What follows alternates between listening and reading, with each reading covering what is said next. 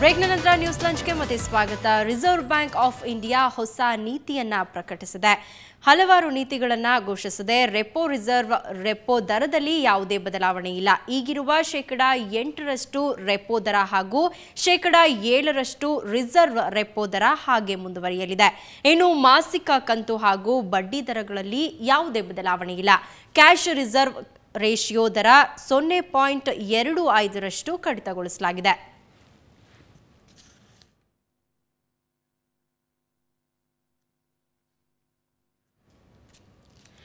ಕೆಲ ದಿನಗಳಿಂದ ನಕ್ಸಲರ ವಿರುದ್ಧ ನಡೀತಾ ಇದ್ದ ಕುಂಬಿಂಗ್ ಕಾರ್ಯಾಚರಣೆಯನ್ನು ಸ್ಥಗಿತಗೊಳಿಸಲಾಗಿದೆ. ರಾಜ್ಯ ಸರ್ಕಾರ ನಕ್ಸಲರ ಶರಣಾಗತಿಗೆ ಅವಕಾಶ ನೀಡಿದ ಹಿನ್ನೆಲೆಯಲ್ಲಿ ಎಎನ್ಎಫ್ ಕುಂಬಿಂಗ್ ಕಾರ್ಯಾಚರಣೆಯನ್ನು ಸ್ಥಗಿತಗೊಳಿಸಿದೆ. ನಕ್ಸಲರು ಶರಣಾಗುವಂತೆ ಇಂದಿನಿಂದ ಸೆಪ್ಟೆಂಬರ್ ಇಪ್ಪತ್ತ್ ಮೂರರವರೆಗೆ ಕಾಲಾವಕಾಶವನ್ನು ನೀಡಿದೆ. ಹಾಸನ ಜಿಲ್ಲೆಯ ಸಕಲೇಶ್ಪುರದ ಬಾಳೆಹಳ್ಳ ಸುತ್ತಮುತ್ತ ನಕ್ಸಲ್ ಚಟುವಟಿಕೆ ಹೆಚ್ಚಾಗಿತ್ತು. ಇವತ್ತು ಬೆಳಗ್ಗೆ ಆರು ಗಂಟೆಯಿಂದ ಎಎನ್ಎಫ್ ಕುಂಬಿಂಗ್ ಕಾರ್ಯಾಚರಣೆಯನ್ನು ನಿಲ್ಲಿಸಲಾಗಿದೆ. ಕಾಡಿನ ಮಧ್ಯೆ ಕುಂಬಿಂಗ್ ನಡೆಸ್ತಾ ಇದ್ದ ಎಎನ್ಎಫ್ ಅರಣ್ಯದಿಂದ ಹೊರಬಂದು ಕ್ಯಾಂಪ್ಗೆ ವಾಪಸ್ಸಾಗಿದೆ. ಇನ್ನು ನಕ್ಸಲರು ಶರಣಾಗದಿದ್ರೆ ಮತ್ತೆ ಕಾರ್ಯಾಚರಣೆ ಮುಂದುವರಿಸುವುದಾಗಿ ಈಗಾಗಲೇ ಎಎನ್ಎಫ್ ಮುಖ್ಯಸ್ಥ ಅಲೋಕ್ ಕುಮಾರ್ ಹೇಳಿದ್ದಾರೆ. ಈ ಹಿಂದೆಯೂ ಎರಡ್ ಸಾವಿರದ ಹತ್ತರಲ್ಲಿ ರಾಜ್ಯ ಸರ್ಕಾರ ನಕ್ಸಲ್ ಶರಣಾಗತಿಗೆ ಕಾಲಾವಕಾಶವನ್ನ ನೀಡಿತ್ತು. ಆಗ ಚಿಕ್ಕಮಗಳೂರಿನಲ್ಲಿ ನಾಲ್ವರು ಶರಣಾಗಿದ್ರು. ಈಗ ಅವರು ಸಮಾಜದ ಮುಖ್ಯವಾಹಿನಿಗೆ ಬಂದು ಉತ್ತಮ ಜೀವನವನ್ನ ಸಾಗಿಸುತ್ತಿದ್ದಾರೆ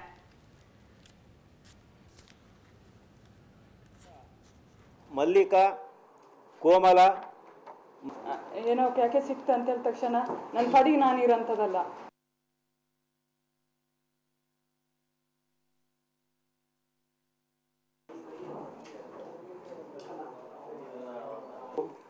ಹಿನ್ನೆಲೆಯಲ್ಲಿ ಇವತ್ತಿನ ದಿವಸ ಮಲ್ಲಿಕಾ ಕೋಮಲ ಏನೋ ಯಾಕೆ ಸಿಕ್ತ ಅಂತ ಹೇಳಿದ ತಕ್ಷಣ ನನ್ನ ಪಡಿಗೆ ನಾನು ಇರೋಂಥದ್ದಲ್ಲ.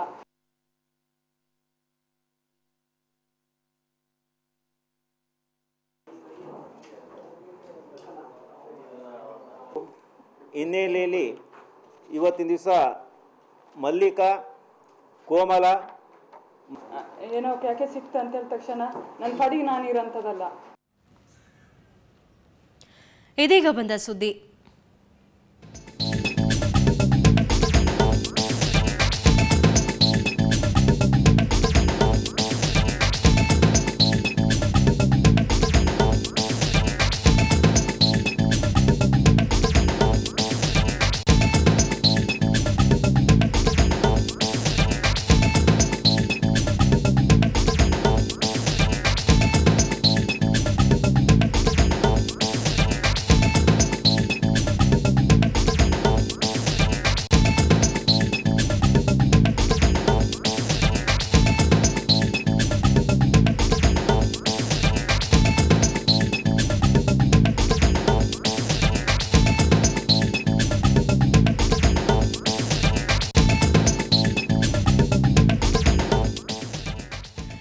ವ್ಯಕ್ತಿ ಗೌರವಕ್ಕೆ ಧಕ್ಕೆಯಾದರೆ ಪಕ್ಷದಲ್ಲಿ ಉಳಿಯೋದಿಲ್ಲ ಅಂತ ಮಾಜಿ ಸಿಎಂ ಯಡಿಯೂರಪ್ಪ ಹೇಳಿದ್ದಾರೆ. ದಾವಣಗೆರೆಯ ಹೊನ್ನಾಳಿಯಲ್ಲಿ ಮಾತನಾಡಿದ ಅವರು, ನನ್ನ ಗೌರವಕ್ಕೆ ಧಕ್ಕೆ ಆಗ್ತಾ ಇರೋದು ಅನುಭವಕ್ಕೆ ಬರ್ತಾ ಇದೆ ಎಂದರು ಅಲ್ಲದೆ, ಮತ್ತೊಂದು ಬಾರಿ ಸಿಎಂ ಆಗುವ ಆಸೆ ಇದೆ. ಜನತೆ ಆಶೀರ್ವಾದ ಮಾಡಿದ್ರೆ ಮತ್ತೆ ಸಿಎಂ ಆಗ್ತೀನಿ ಅಂತ ವಿಶ್ವಾಸ ವ್ಯಕ್ತಪಡಿಸಿದ್ದಾರೆ. ಇದೇ ವೇಳೆ ಖಾತೆ ಮರು ಹಂಚಿಕೆ ವಿಚಾರಕ್ಕೆ ಸಂಬಂಧಪಟ್ಟಂತೆ ಮಾತನಾಡಿದ ಅವರು, ಸಚಿವ ಜಾರಕಿಹೊಳಿಗೆ ಹೆಚ್ಚುವರಿ ಖಾತೆ ನೀಡಿದ್ರೆ ರೇಣುಕಾಚಾರ್ಯಗೂ ಹೆಚ್ಚುವರಿ ಖಾತೆ ನೀಡಿ ಅಂತ ಆಗ್ರಹಿಸಿದ್ದಾರೆ.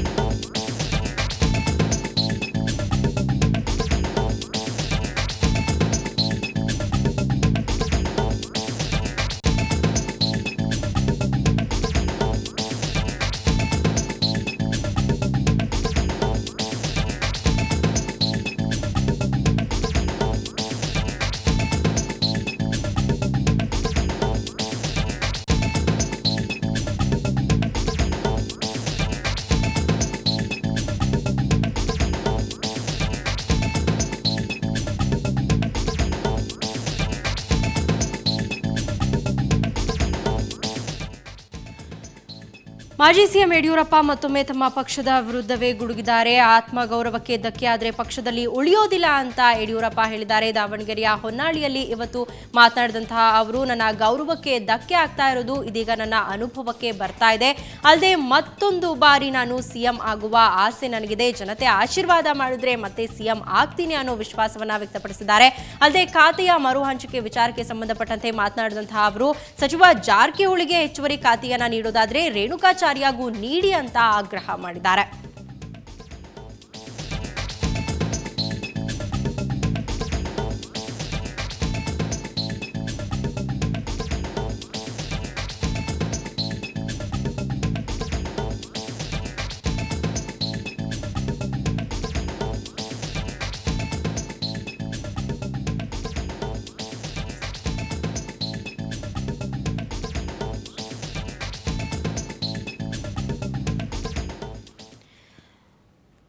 ಯಡಿಯೂರಪ್ಪ ಮತ್ತೊಮ್ಮೆ ತಮ್ಮ ಪಕ್ಷದ ವಿರುದ್ಧವೇ ಗುಡುಗಿದ್ದಾರೆ. ಆತ್ಮ ಗೌರವಕ್ಕೆ ಧಕ್ಕೆ ಆದರೆ ನಾನು ಪಕ್ಷದಲ್ಲಿ ಉಳಿಯೋದಿಲ್ಲ ಅನ್ನೋ ಮಾತನ್ನ ಹೇಳಿದ್ದಾರೆ. ಇತ್ತೀಚೆಗೆ ನನ್ನ ಆತ್ಮಗೌರವಕ್ಕೆ ಧಕ್ಕೆ ಆಗ್ತಾ ಇರೋದು ನನ್ನ ಅನುಭವಕ್ಕೆ ಬರ್ತಾ ಇದೆ ಅಂತ ಅನ್ನೋ ಮಾತನ್ನ ಹೇಳಿದ್ದಾರೆ. ದಾವಣಗೆರೆಯ ಹೊನ್ನಾಳಿಯಲ್ಲಿ ಕಾರ್ಯಕ್ರಮದಲ್ಲಿ ಭಾಗವಹಿಸಿದಂತಹ ಯಡಿಯೂರಪ್ಪ ಈ ಮಾತನ್ನ ಹೇಳಿದ್ದಾರೆ.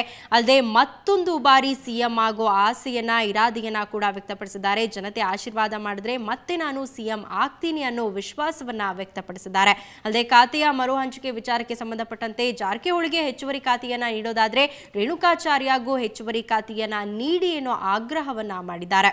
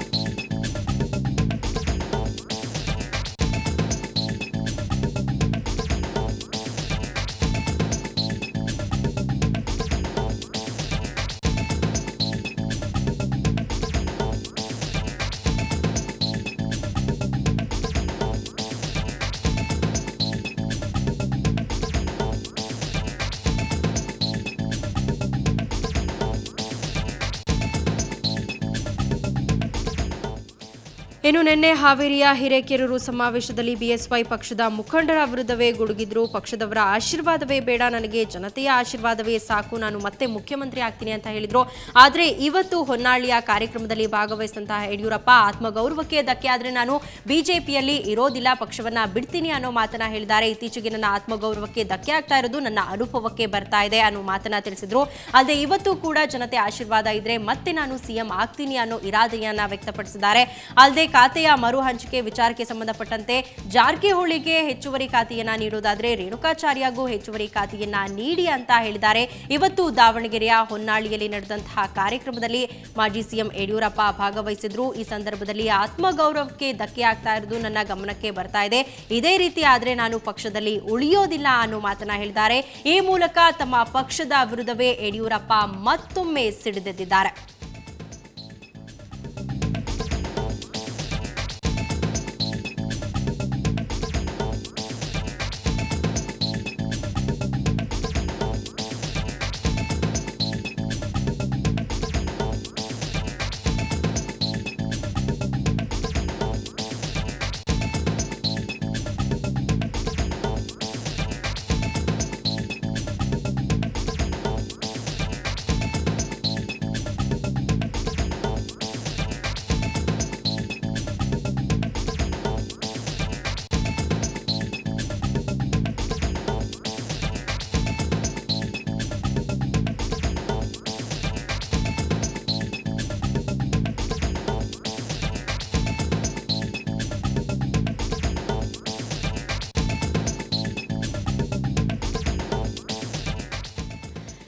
ದಾವಣಗೆರೆಯ ಹೊನ್ನಾಳಿಯಲ್ಲಿ ಇವತ್ತು ಸಮಾವೇಶ ನಡೀತಾ ಇತ್ತು. ಈ ಒಂದು ಸಮಾವೇಶದಲ್ಲಿ ರೇಣುಕಾಚಾರ್ಯ, ಮಾಜಿ ಸಿಎಂ ಯಡಿಯೂರಪ್ಪ, ತಾರಾ ಹೀಗೆ ಹಲವಾರು ಗಣ್ಯರು ಭಾಗವಹಿಸಿದ್ರು. ಈ ಕಾರ್ಯಕ್ರಮದಲ್ಲಿ ಮಾತನಾಡ್ತಾ ಯಡಿಯೂರಪ್ಪ ನನ್ನ ಆತ್ಮಗೌರವಕ್ಕೆ ಏನಾದರೂ ಧಕ್ಕೆ ಆದರೆ ನಾನು ಈ ಪಕ್ಷದಲ್ಲಿ ಉಳಿಯೋದಿಲ್ಲ ಅನ್ನೋ ಮೂಲಕ ತಮ್ಮ ಆಕ್ರೋಶವನ್ನ ವ್ಯಕ್ತಪಡಿಸಿದ್ರು.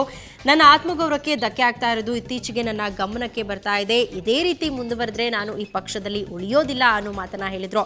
ಅಲ್ಲದೆ ಜನತೆ ಆಶೀರ್ವಾದ ಮಾಡಿದ್ರೆ ನಾನು ಮತ್ತೆ ಸಿಎಂ ಆಗೇ ಆಗ್ತೀನಿ ಅನ್ನೋ ಒಂದು ವಿಶ್ವಾಸವನ್ನ ಕೂಡ ವ್ಯಕ್ತಪಡಿಸಿದ್ರು. ನಿನ್ನೆ ಹಾವೇರಿಯ ಹಿರೇಕೆರೂರು ಸಮಾವೇಶದಲ್ಲಿ ಬಿಎಸ್ವೈ ಭಾಗವಹಿಸಿದ್ರು. ಈ ಸಂದರ್ಭದಲ್ಲಿ ಪಕ್ಷದ ಮುಖಂಡರ ವಿರುದ್ಧವೇ ಗುಡುಗಿದ್ರು. ಪಕ್ಷದವರ ಆಶೀರ್ವಾದವೇ ಬೇಡ ಅನ್ನೋ ಒಂದು ಮಾತನ್ನ ಹೇಳಿದ್ರು. ಆದ್ರೆ ಇವತ್ತು ದಾವಣಗೆರೆಯ ಹೊನ್ನಾಳಿಯಲ್ಲಿ ನನ್ನ ಆತ್ಮಗೌರವಕ್ಕೆ ಧಕ್ಕೆ ಆಗ್ತಾ ಇದೆ. ಇದೇ ರೀತಿ ಮುಂದುವರೆದ್ರೆ ನಾನು ಪಕ್ಷದಲ್ಲೇ ಇರೋದಿಲ್ಲ ಅಂತ ಅನ್ನೋ ಮಾತನ್ನ ಹೇಳಿದ್ದಾರೆ. ಈ ಮೂಲಕ ಯಡಿಯೂರಪ್ಪ ತಮ್ಮ ಪಕ್ಷದ ವಿರುದ್ಧ ಮತ್ತೊಮ್ಮೆ ಸಿಡಿದೆದ್ದಿದ್ದಾರೆ.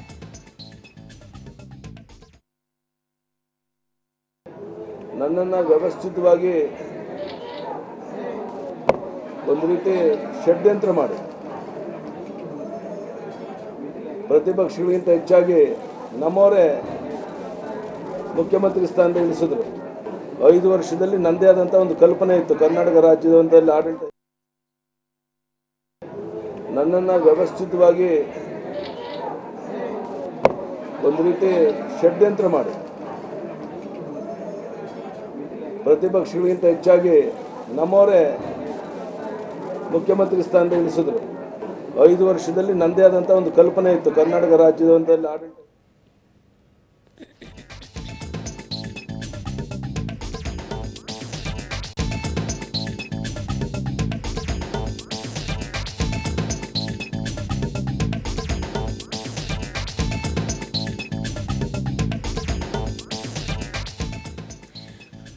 ಓಕೆ, ಇದೀಗ ಮಾಜಿ ಸಿಎಂ ಯಡಿಯೂರಪ್ಪ ಅವರು ಮಾತನಾಡ್ತಿರೋದನ್ನ ಕೇಳಿಸ್ಕೊಂಡು ಪ್ರತಿಪಕ್ಷಗಳಿಗಿಂತ ಹೆಚ್ಚಾಗಿ ತಮ್ಮ ಪಕ್ಷದವರೇ ನನ್ನ ವಿರುದ್ಧ ಷಡ್ಯಂತ್ರವನ್ನ ರೂಪಿಸ್ತಾ ಇದ್ದಾರೆ ಅನ್ನೋ ಒಂದು ಮಾತನ್ನ ಹೇಳಿದ್ರು. ಒಟ್ಟಾರೆಯಾಗಿ ಯಡಿಯೂರಪ್ಪ ಅವರು ತಮ್ಮ ಬಿಜೆಪಿ ಪಕ್ಷದ ವಿರುದ್ಧವೇ ಸಿಡಿದೆದ್ದಿದ್ದಾರೆ. ಮತ್ತೊಮ್ಮೆ ನನ್ನ ಆತ್ಮಗೌರವಕ್ಕೆ ಧಕ್ಕೆ ಆಗ್ತಾ ಇದೆ. ಹೀಗೆ ಮುಂದುವರೆದ್ರೆ ನಾನು ಈ ಪಕ್ಷದಲ್ಲಿ ಉಳಿಯೋದಿಲ್ಲ ಅನ್ನೋ ಮಾತನ್ನ ಹೇಳಿದ್ರು. ಪ್ರತಿಪಕ್ಷಗಳಿಗಿಂತ ಹೆಚ್ಚಾಗಿ ತಮ್ಮ ಪಕ್ಷದಲ್ಲಿರುವವರೇ ತನ್ನ ವಿರುದ್ಧ ಷಡ್ಯಂತ್ರವನ್ನ ರೂಪಿಸ್ತಾ ಇದ್ದಾರೆ ಅನ್ನೋ ಒಂದು ಮಾತನ್ನ ಕೂಡ ತಿಳಿಸಿದ್ದಾರೆ. ಇವತ್ತು ಹೊನ್ನಾಳಿಯ ಒಂದು ಕಾರ್ಯಕ್ರಮದಲ್ಲಿ ಭಾಗವಹಿಸಿದಂತಹ ಯಡಿಯೂರಪ್ಪ ತಮ್ಮ ಪಕ್ಷದವರ ವಿರುದ್ಧ ಸಿಡಿದಿದ್ದಾರೆ ನನ್ನ ಆತ್ಮಗೌರವಕ್ಕೆ ಧಕ್ಕೆ ಆದರೆ ನಾನು ಈ ಪಕ್ಷದಲ್ಲಿ ಉಳಿಯೋದಿಲ್ಲ ಅನ್ನೋ ಒಂದು ಮಾತನ್ನ ಹೇಳಿದ್ದಾರೆ. ಅಲ್ಲದೆ ಜನತೆ ಆಶೀರ್ವಾದ ಮಾಡಿದರೆ ನಾನು ಮತ್ತೆ ಸಿಎಂ ಆಗ್ತೀನಿ ಅನ್ನೋ ಇರಾದೆಯನ್ನು ವ್ಯಕ್ತಪಡಿಸಿದ್ದಾರೆ. ಪ್ರತಿ ಕಾರ್ಯಕ್ರಮಗಳಿಗೆ ಹೋದಂತಹ ಸಂದರ್ಭದಲ್ಲಿ ಯಡಿಯೂರಪ್ಪ ಅವರು ಇದೇ ರೀತಿಯ ಒಂದು ವಿಶ್ವಾಸವನ್ನು ವ್ಯಕ್ತಪಡಿಸ್ತಾರೆ. ಕರ್ನಾಟಕದ ಜನ ನನ್ನನ್ನು ಆಶೀರ್ವಾದ ಮಾಡಿದ್ರೆ ನಾನು ಮತ್ತೆ ಸಿಎಂ ಆಗಿ ಬರ್ತೀನಿ. ಜನತೆಯ ಸೇವೆ ಮಾಡೋದಕ್ಕೆ ನಾನು ಸದಾ ಸಿದ್ಧ ಅನ್ನೋ ಒಂದು ಮಾತನ್ನ ಹೇಳ್ತಿರ್ತಾರೆ.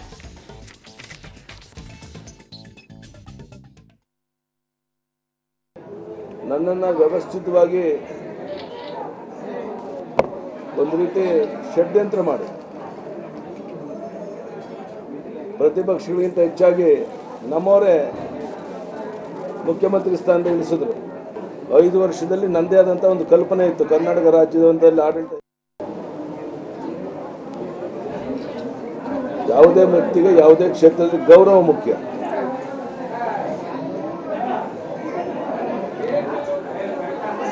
ಆ ಗೌರವಕ್ಕೆ ಚ್ಯುತಿಯಾದರೆ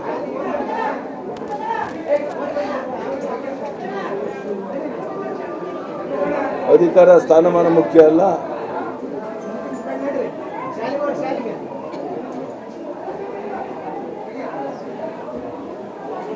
ಅನ್ನುವಂಥದ್ದು ನನ್ನ ಸ್ಪಷ್ಟ ನಿಲುವು.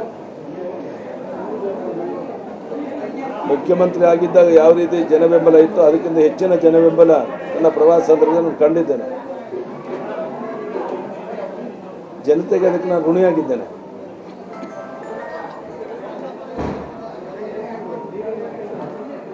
ನಿನ್ನೆಯಿಂದ ಒಂದು ನೂರು ವಿಧಾನಸಭಾ ಕ್ಷೇತ್ರಗಳಲ್ಲಿ ಪ್ರವಾಸ ಮಾಡೋದಕ್ಕೆ ನನ್ನ ಪ್ರವಾಸ ಪ್ರಾರಂಭ ಆಗಿದೆ. ಇನ್ನೊಂದು ತಿಂಗಳಲ್ಲಿ ಒಂದು ನೂರು ಕ್ಷೇತ್ರಕ್ಕೆ ಹೋಗಬೇಕು ಅಥವಾ ಇನ್ನೊಂದು ಕಾಲು ತಿಂಗಳಲ್ಲಿ ಅಂತ ನನ್ನ ಅಪೇಕ್ಷೆ. ಜನರ ಭಾವನೆಗಳನ್ನು ತಿಳ್ಕೊಳ್ಳೋದಕ್ಕೋಸ್ಕರ ಮತ್ತು ಅವರ ದುಃಖ, ದುಮ್ಮಾನಗಳನ್ನು ತಿಳ್ಕೊಳ್ಳೋಕ್ಕೋಸ್ಕರ ನಾನು ಪ್ರವಾಸ ಮಾಡ್ತಾ ಇದ್ದೇನೆ.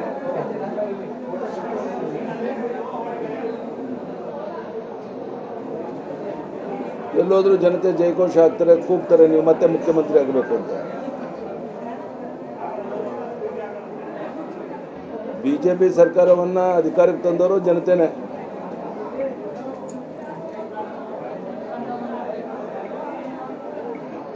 ನಾಳೆ ಯಡಿಯೂರಪ್ಪ ಮತ್ತೆ ಮುಖ್ಯಮಂತ್ರಿ ಆಗಬೇಕು ಅಂತ ಜನತೆ ಅಪೇಕ್ಷೆ ಪಟ್ಟರೆ ಅದನ್ನು ತಡೆಯೋದಕ್ಕೆ ಯಾರಿಂದೂ ಸಾಧ್ಯ ಇಲ್ಲ.